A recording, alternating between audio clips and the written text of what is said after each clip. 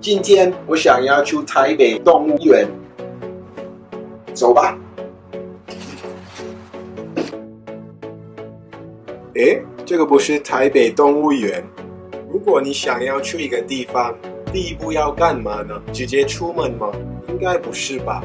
你要先看一下那个地图，知道怎么走，不然一定不会到你的目的地啊。我刚刚说我想要去动物园啊，但是我没有查地图，我直接出门开始走。当然我没有到那个公园啊，因为我没有查地图，我没有什么说明。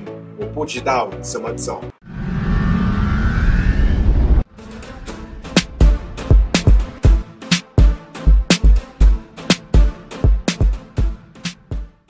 你知道吗？为什么那么多人没有达到他们健身的目标呢？因为跟刚刚的概念完全一样，你没有花时间学一下对的方向，怎么走，怎么做。你直接开始乱动，当然你会浪费你的时间，还不会到你的目的地。今天我会送你们世界上最完整健身概论。来，Cobra，我想要减肥而已，我应该疯狂去运动吧？错，你知道吗？最有效减肥的方式就是饮食，你知道吗？为什么你的体脂肪会增加？不是因为你缺运动，才是因为你的饮食有问题。天天吃过头，你摄取的热量太高，所以你的体脂肪才会上升。所以你们不要疯狂去运动来减肥。即使你要减肥的话，你真的不一定要去锻炼啊，你可以直接学习怎么控制你的饮食，你就会到你的目标，你就会瘦下去。Cobra，我已经减肥完，但是我的腹肌、我的胸、我的腿还是软软的，我应该怎么办？如果你已经减肥，还是不满，你觉得你全身还是太软，怎么办呢？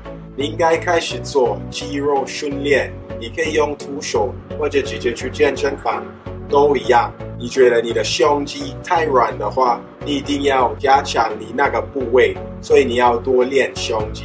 你觉得你减完肥，你的肚子还是软软的，你要发达一下你的腹肌，多练腹肌。你觉得你的腿部太软的话，你不喜欢，那你要加强那个部位，多练腿，发达你腿的那些肌群。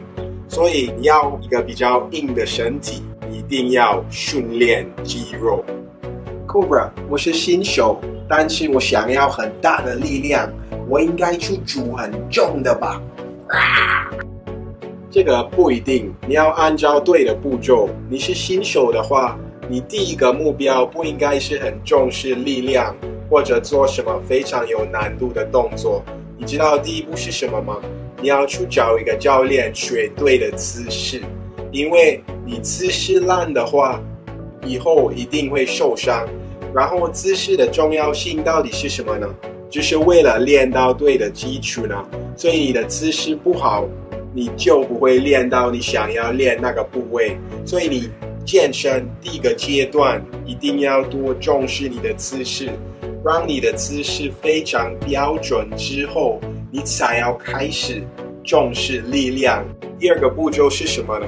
你那个脑袋接上去你的肌肉那个 connection 那个连接，很多人没办法专心选择一个部位发力，这个是一个非常大的问题。所以没有学到怎么利用那个肌群发力的话，重量越大，你会直接分散给你全身，没有特别刺激到你想要刺激的部位。所以你们也要花一点时间学一下怎么专心利用你想要利用那个部位。这两个步骤完成之后，你才要开始学怎么用这些姿势来加强的力量。步骤才是这样子，你们没有按照对的步骤，相信我，以后一定会受伤，然后你那个进步的速度会比较慢。你们要按照对的顺序。我希望这部影片对你们有帮助，有帮助的话一定要按赞、订阅。另外，想要到你的目的地，要先干嘛呢？查一下地图。不然你就会迷路。感谢 UGM 来赞助这部视频。果你想要加强你训练恢复的速度，非常推荐这个电子按摩器。想要买的话，你们可以直接看那个资讯栏，我会把一个折扣链接放那里送给你们。